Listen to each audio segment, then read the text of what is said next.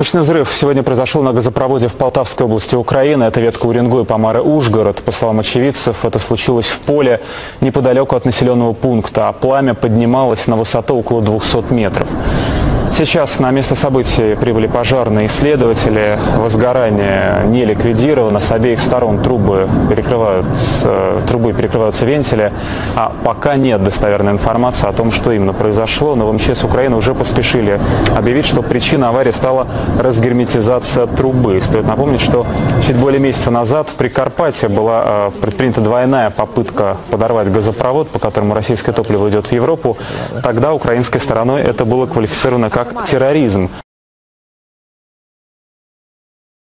А, Кроме того, к атакам на газопроводы призвал украинский радикал, член правого сектора Дмитрий Ярош. Он, напомню, объявлен Россией в международный розыск. Ему заочно предъявлено обвинение в призывах к терроризму.